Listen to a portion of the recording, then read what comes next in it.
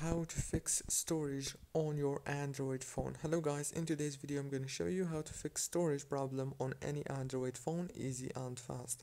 So all what you have to do is so simple. Keep watching until the end.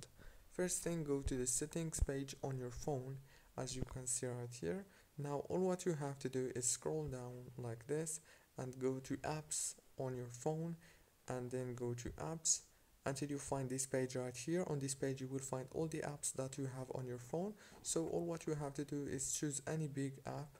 For example like instagram click on it and then go to storage and then click on clear data right here and then click on clear cache and you will be freeing up uh, more than 600 megabyte or 1 gigabyte. Then go back and choose another app right here. For example I'm gonna choose the this one. It's QR scanner. Click on storage and click on clear data. And you can do the same thing with all the apps. Don't forget to like subscribe. Thank you for watching this video. Until the very end